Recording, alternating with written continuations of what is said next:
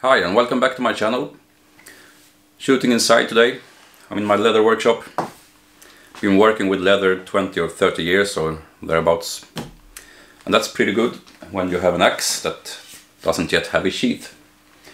I've been using this uh, Rinaldi America for some time now, carrying it in my sling on my back up in the forest. And well, sooner or later I guess I will cut myself or cut my clothes. So I'm gonna fix that now. And uh, you can take the opportunity to learn from how I make my leather sheaths. So I just started by making a really simple sketch of the rough design of the sheath and the function with the strap behind the head like that. And then I started making a template. I use the kind of paper you put on the floor when you are redecorating or painting. And I found a store that has this paper but without the plastic cover that it usually has on one side. So if you can find that, that's the best for templates, I think. I put the axe on the paper, traced around the axe head, knocked the handle out. That you can do with slip fit axes.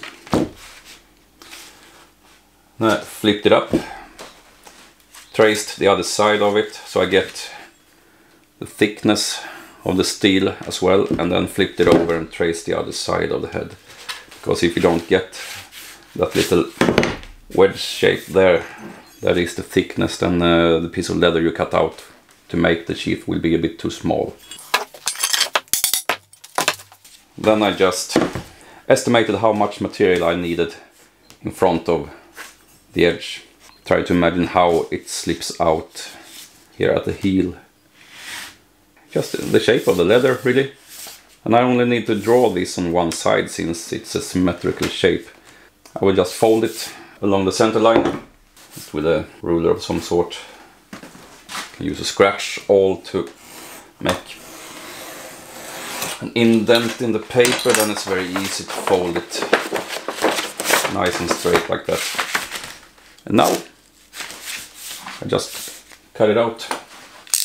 I use one of these knives. I have some fancy knives for leather working, but I more or less always come back to these simple things because I don't need to sharpen them. That almost looks like an axe head, hewing axe. Anyway, this is the first piece I'll cut out from leather. The main piece that will make up the sheath. I have a nice piece of leather here. I think it's veg tan, but I'm not sure. It's about 3 millimeters thick, I would say. I'm not sure how you measure that in the imperial system, but yeah, it's about the same thickness as regular belt leather, really. So I'm gonna try and put the template on it to get as little waste as possible. Before, when I worked a lot with leather, I restocked all the time with materials. Now I don't so much anymore, so try to save up as much as possible and not waste material. Well, I did that when I earned my living from leather crafts too, but it's even more interesting to me now when I don't really have the same excuse to buy more material all the time. I use a scratch awl to mark and I do it on the grain side, not on the flesh side. Some people flip it around and mark with a pen on the flesh side, but I've come to prefer scratching with an awl on the grain side. This is the easiest way to break a section off when you need a new sharp tip. My fiance hates when I do that, but that's actually a professional technique. You usually get the best cut if you don't try to press all the way through the leather at first go, especially if you work with thick leather. This leather isn't that difficult, but I don't use too much force anyway when I cut it. That uh, can just make it more difficult to actually follow the line nicely.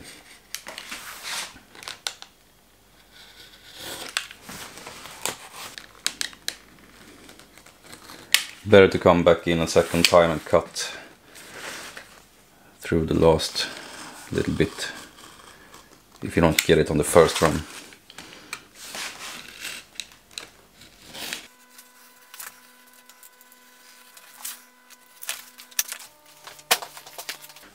And there we have it.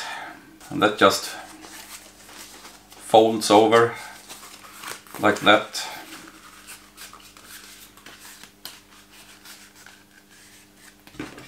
To uh, form the sheath. Yeah, gonna be great.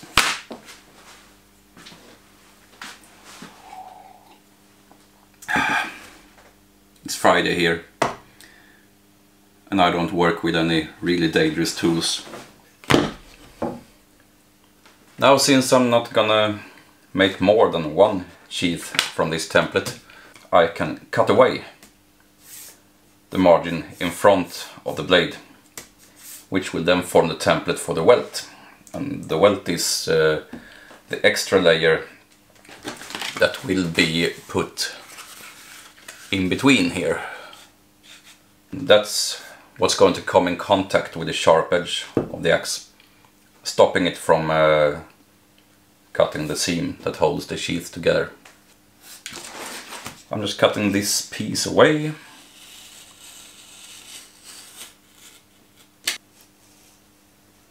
I can lose that. And now there's the welt template. I'm not gonna use the same leather as uh, for the rest of the sheath. I'm gonna use this. It's uh, slightly thicker and slightly harder. So it will stop the axe edge a little bit better. I think I used this for soles when I made medieval shoes. It's a bit tougher than this, and this is easier to fold in shape.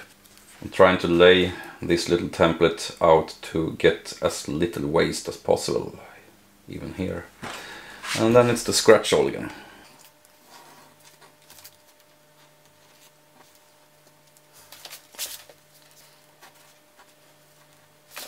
There we have it. And I'm just cutting this out.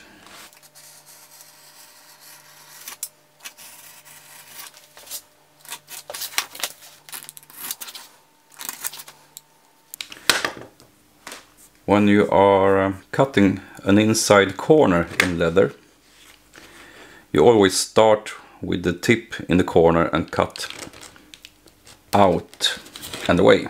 Because if you don't do that, if you cut into the corner, since the blade is uh, angled, you're not cutting with the edge straight. You will cut past the corner and make a nick in the piece you want to keep. So start with the tip in the corner and cut away.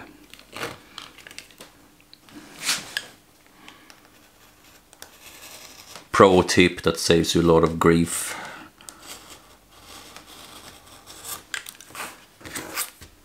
There's that little piece.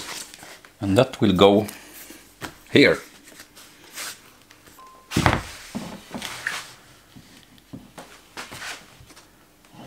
Like that. Now I'm gonna soak the main part of the sheath in this little tub of water I put on the table here. The water is warm but not too hot because if you get it too hot then uh, you start ruining the leather I do this to uh, be able to shape it easier when I fold it. And while I wait for that to soak, I'm going to uh, cut the fastening strap from the same piece of leather I cut it from using a strap cutter.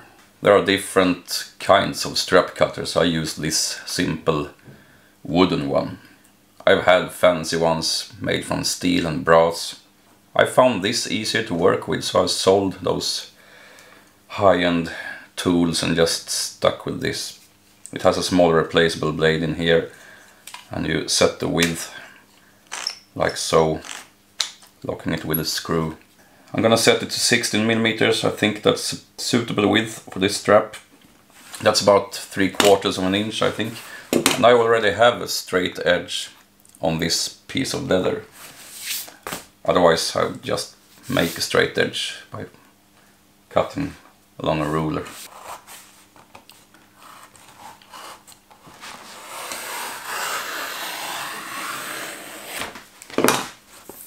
There's my strap now.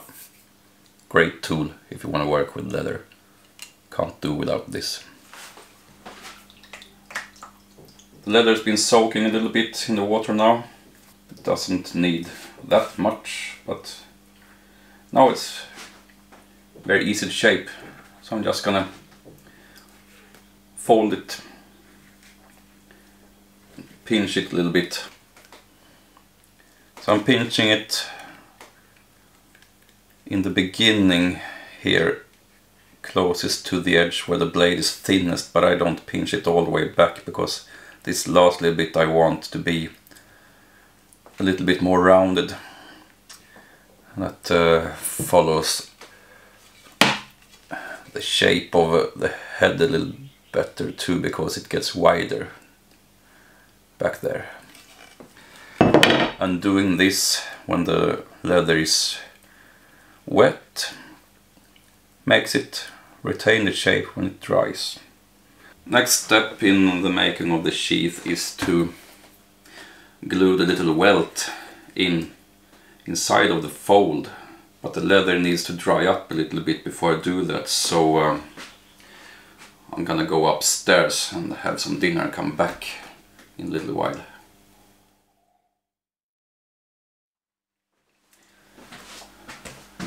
that was dinner. Mashed potatoes and a great stew. I put the sheath in uh, some old newspapers to help it dry out slightly while I was away eating. Of course it's not dry yet, but it's not as wet as when I left it. This will have to do.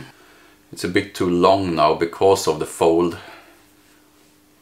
There's a little bit of it sticking out, so I have to cut away a little piece.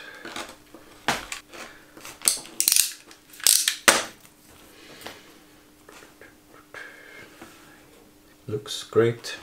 The glue doesn't stick to the grain side, it's too smooth and hard. So uh, I have one of these metal brushes to roughen up the surface.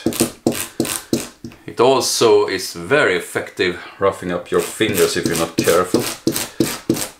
I have first hand experience from that. first hand. Ah, sorry about that.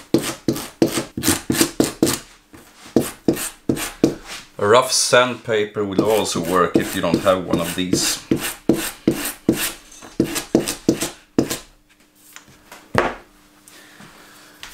To apply the glue I never buy brushes.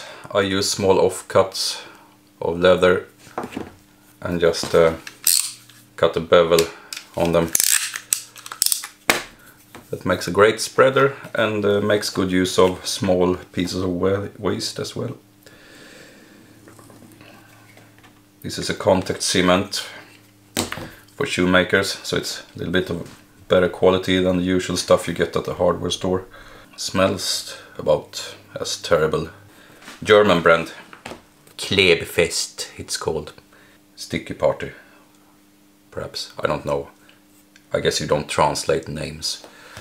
The usual practice when using contact cement on leather is to put one thin layer on first as a primer. Let it dry up a little bit and then put the second coat on, which is uh, the adhesive layer. I'm doing the same thing to this piece here, although it is still a little bit too moist perhaps, but yeah. Let's see if it works or not.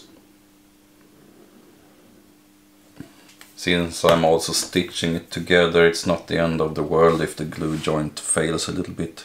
I'm not aiming for a waterproof seal here anyway. And then the other side of this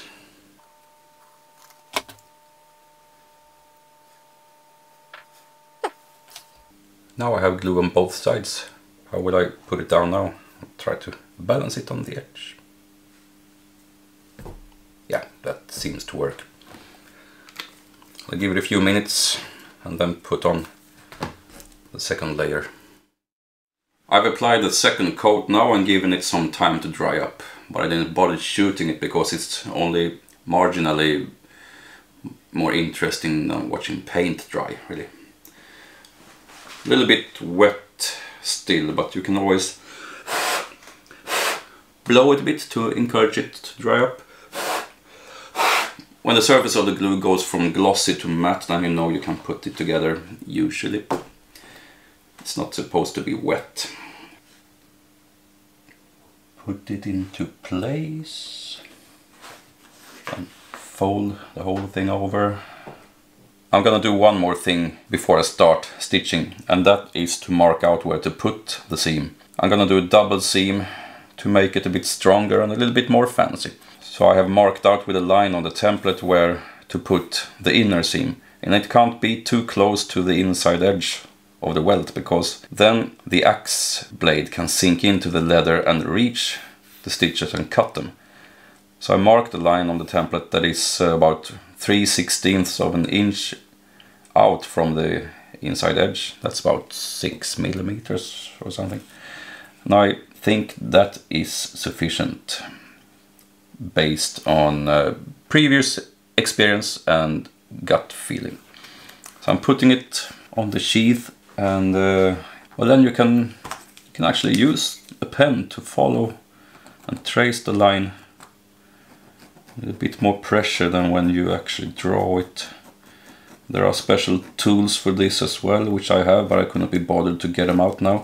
Or you can use the scratch awl, but you don't put the tip of it straight down into the leather. You have to drag it along. So you press into the leather through the paper of the template.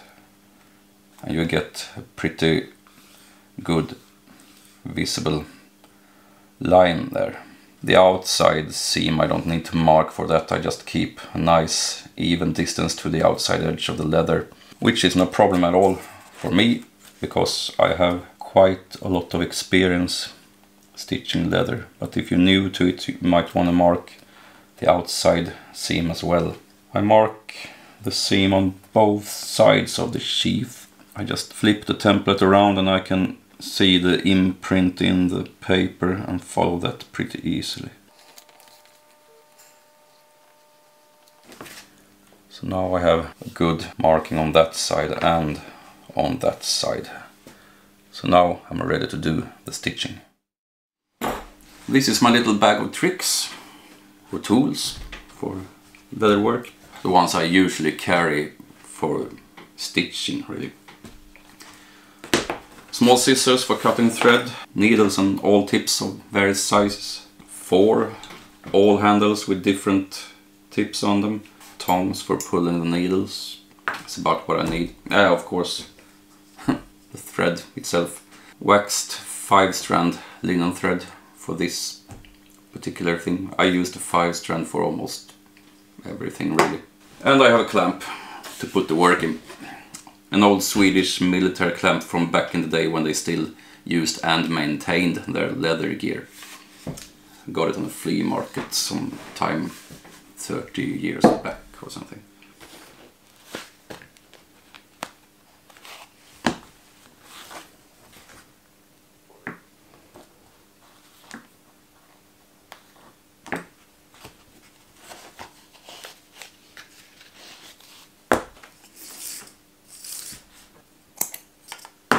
When threading the saddler's needles, you can uh, press the linen thread with your thumbnail onto your index fingertip and pull the thread back. That makes the thread flat and then it fits pretty good inside of the eye of the needle provided the thread and the needle match each other good enough.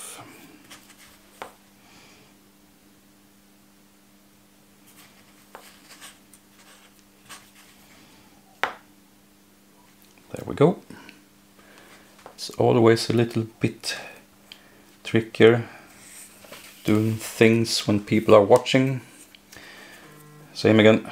I twist it a little bit extra first to make it tightly wound at the end. Then pressing down with the thumbnail and pulling the thread back. I now have a flat tip which should pass through the eye like that. Then I make sure I've pulled the same amount of thread through the eye on both needles.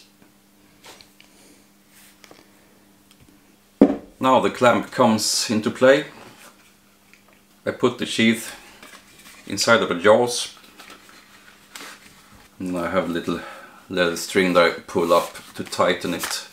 and I hold it between my knees and then I have both my hands to work with. So now I can start making the holes for the seam with the awl. I'm trying to exit and hit the mark I did with the help of the template. I put my stitches about 5 or 6 millimeters apart, like 3 sixteenths of an inch. And I usually make 4 or 5 holes at the time. I'm going to start with 3 now just to get started. I'm gonna do what's referred to as a saddler's stitch. I've also heard it being called shoemaker's stitch. I guess that depends on if it's a saddle maker or a shoemaker that's talking about it. Anyway, putting one of the needles through, pulling the thread and then lifting both the needles to make sure I start on the middle of the thread. And I actually don't start in the first hole, I start in my second hole. And then I stitch back to the first hole.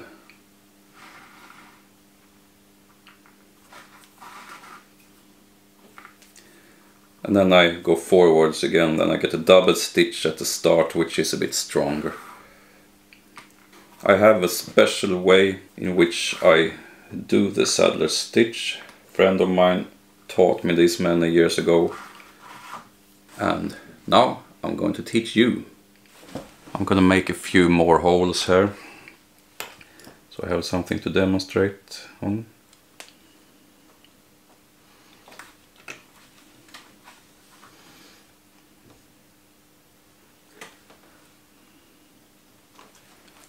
I push against my fingertip, twisting it a bit to make it penetrate the leather a bit more willingly. When I can feel the awl tip starting to exit, I remove my fingertip and support the leather just to the side of where the tip is exiting. And then I hook my index finger onto the other side of the leather and push it through. And I twist the awl 90 degrees and pull it out. That widens the hole Otherwise it's more or less just a slot since this is a flat sword shaped tip. But when I push through, twist it 90 degrees and pull it out, I have a much wider hole. So that's much easier to get the needles through.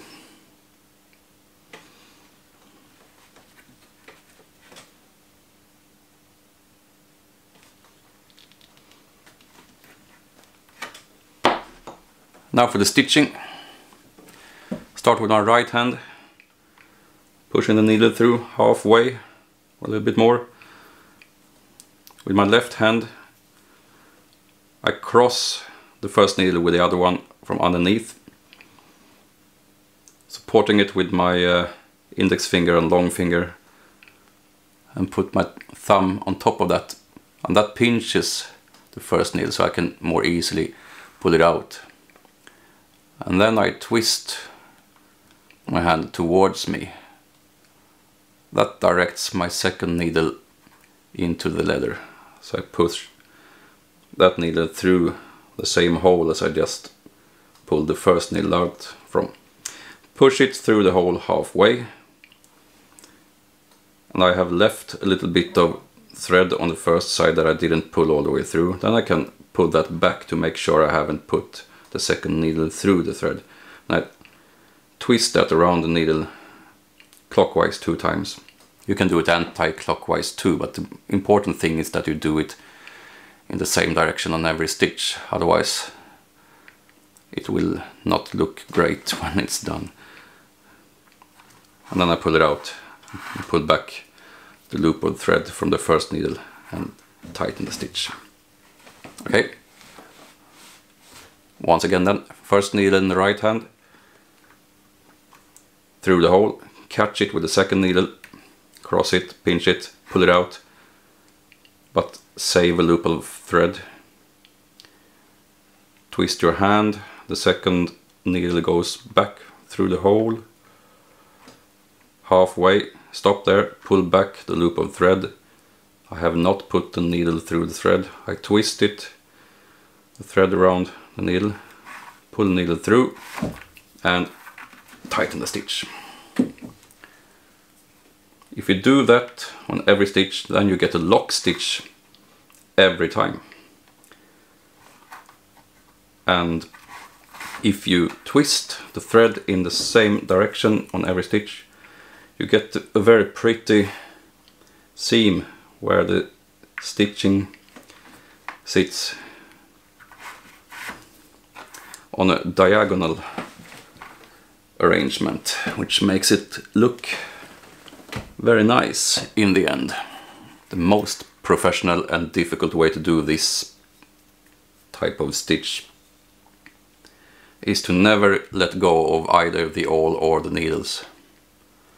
So when you use the awl, you hold the needles between your index fingers and long fingers.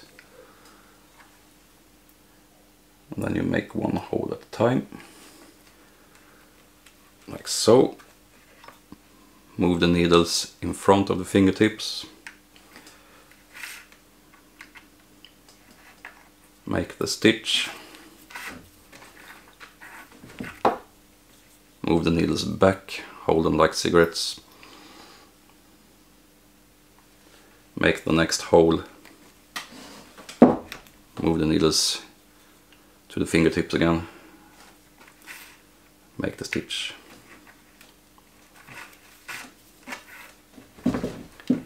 yeah, that's sort of the professional way. But I usually make a few holes and then I just put the awl away because I think that's more convenient.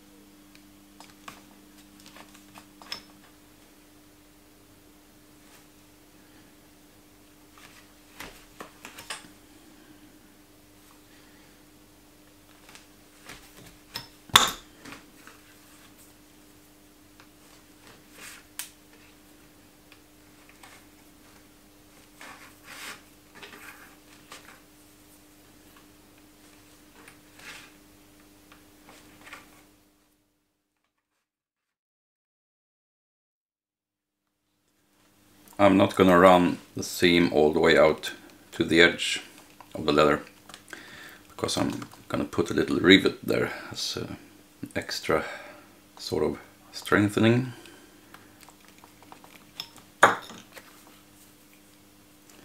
So two more stitches and then the first inner seam is done.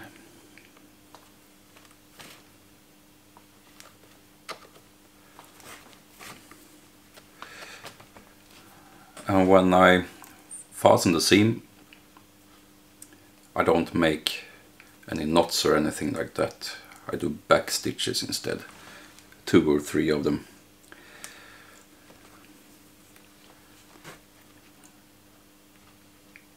Two is usually sufficient. Depends a little bit on what you're making, of course. This is where small tongs are very convenient when you backstitch because there's a little bit tight in those holes you've already stitched through once. You can widen those holes with an awl with a round tip that doesn't cut the thread. If you go in with the, the cutting awl in the same holes again you will sever the thread. But if it's not too tight you can just push the needles through again and pull them through with your little tongs. One thing to bear in mind though when you pull your saddle's needles with tongs don't grab the needle across like that because then you will probably twist the grip a little bit when you pull and then you can break the needle grab the needle and pull it in its direction instead. Then you will almost never break a needle like that. That's two back stitches. That will be enough I think. And I just cut the thread as close as possible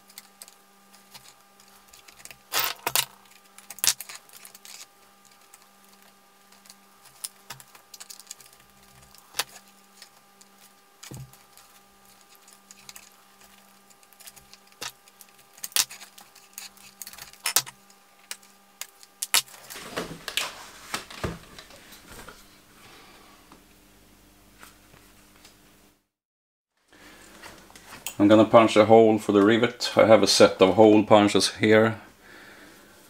I also have one of these. I prefer the hole punches. And the rawhide mallet. This one has a lead weight inside so it packs a more powerful punch than this lighter one. This I mostly use for decorational work.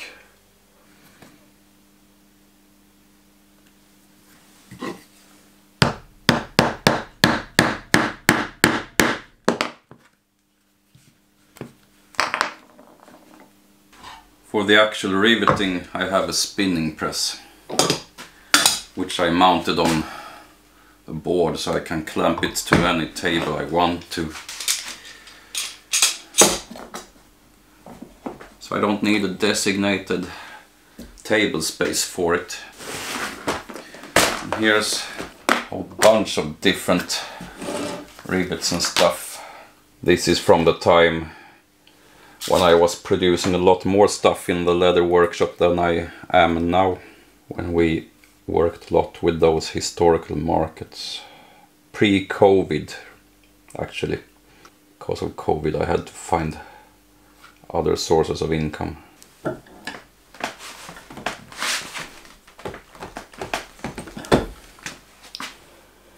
You don't have to use a spinning press for these what do you call them? Pipe rivets or foot and hat rivets. You can just put them together and smack them with a hammer onto some sort of hard anvil-like surface, but then you get a flat hat. There are tools that you can uh, strike with a hammer too if you don't do much of it, but I have this and it's very convenient. But you will probably not get this if you don't start working a little bit more with leather than just making a few axe sheaths now and then. Here's the strap I prepared earlier. So now I'm gonna make slots for that to run through on the back here. So Now it's back to the wall of stuff to find a suitable hole punch for that, or slot punch. I also have a couple of sets over here, different sizes.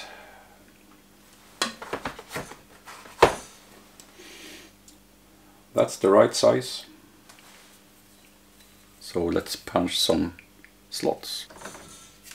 Need this again. And one on the other side.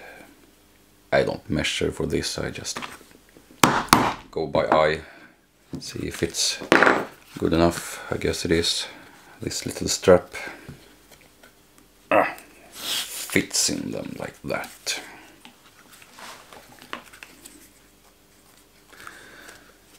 But before I do anything else, I'm going to bevel all the edges. Should have done that before I stitched these together, of course. But for some reason I always forget doing that when I'm showing people how I make stuff. Edge bevelers. Three sizes. Going with number two.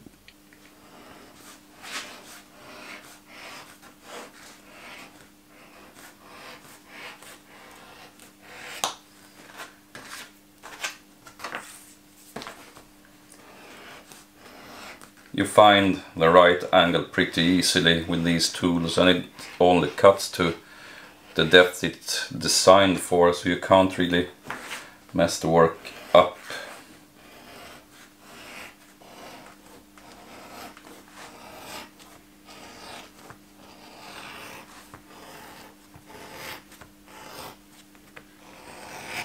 I want a clean cut around the edges where I stitched it so I get a nice edge where the three layers of leather meet and are visible. That's the reason to not stitch too close to the edge. Have a little bit that you can cut off.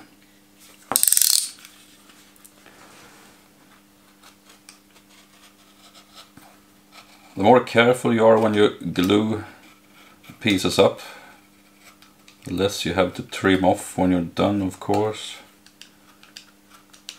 it's very hard to get totally perfect. And it always looks better if you can just shave off a little bit when you're done.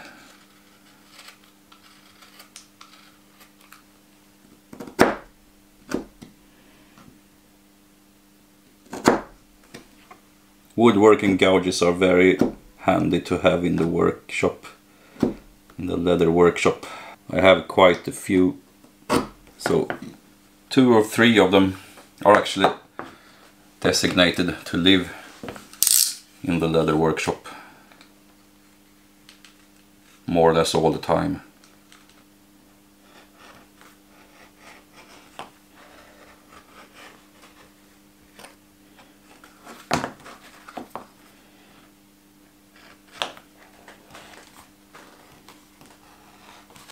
Little bit tricky supporting the leather now when I have folded it. This doesn't affect the functionality of the sheath but it doesn't hurt if it looks a little bit nicer. It's really stupid of me really not doing this before I folded it and sewn it together. But try to remember doing this in advance if you want to make a similar sheath yourself.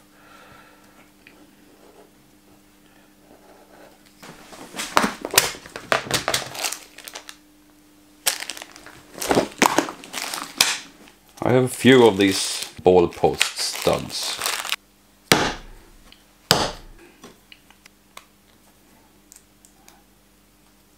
Just threads together like that. Tighten it with a screwdriver. You can also put thread lock in, otherwise they will come loose and fall off. I don't have any thread lock, but I have super glue. That will also do.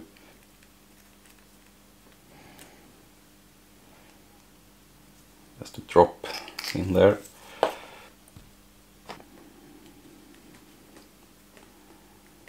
And screw it back together.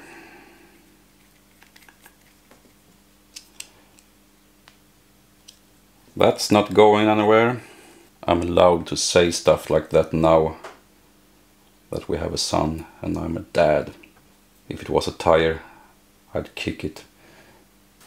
Now I can put the strap through the slots. It's a good thing if it's a bit tight when it's new so you don't lose the strap in the forest. Now I put it on the axe.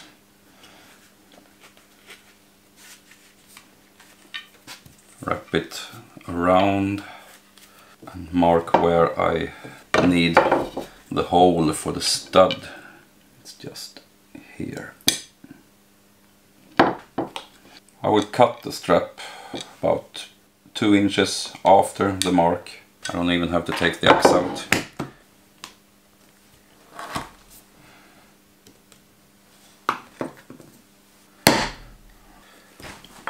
Now of course this ball stud will not pass through that hole. We also need a slot. I'm going to remove the axe for now. I could do it with this knife, but I also have a straight chisel. It looks nicer if you cut from the grain side. Gonna extend it slightly, like that. That should be okay, I hope. And now it locks like that.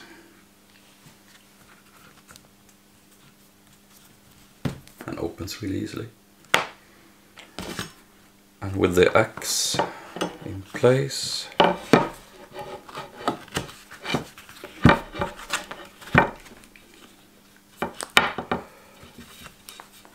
pull the strap back a little bit first. It's nice to have a loose strap so you can adjust it and get the ball stud exactly where you want it and also change the strap easily if you need to. Well there we go. That's nice and secure. Well there you go. A nice little evening project. And something I wanted to do ever since I started using this axe. I'm gonna let the sheath dry a little bit until tomorrow and then I'll put some grease on it. Apart from that, it's done. I can start using it. I hope you enjoyed watching this and I hope you found it useful if you want to make your own axe sheaths. And I also hope you will subscribe to my channel if you haven't already done that. And I will see you in the next video. Until then, goodbye.